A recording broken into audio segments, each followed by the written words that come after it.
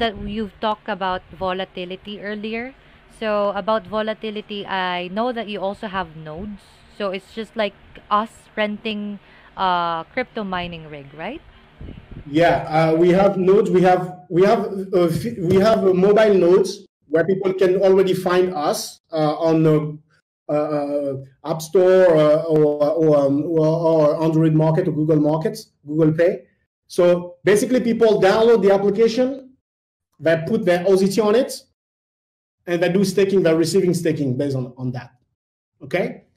There is the other stuff, which is the masternode. So they're downloading, uh, they're going on the GitHub repository that we have on GitHub uh, Flash Group Dev, and they're downloading the desktop version on Linux, uh, EOS, or, or, or, Windows, and they're putting the coin on it. They create, they're transforming this core wallet into Masternode terminal, and they will earn Masternode rewards.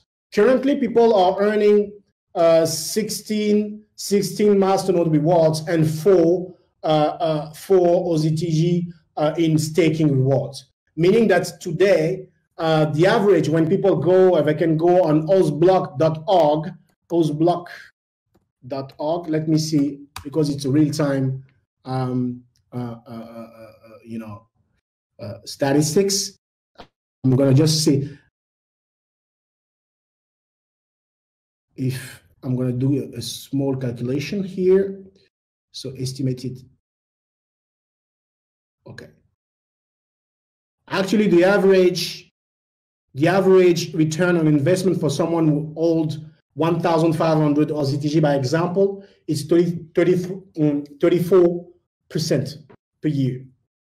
So it's easy to calculate. They can go on ozblock.org uh, and uh, and just make the calculation by themselves. So um, people can do passive income and by holding uh, they, are not active on the phone or uh, the core wallet into the, the, the desktop uh, computer.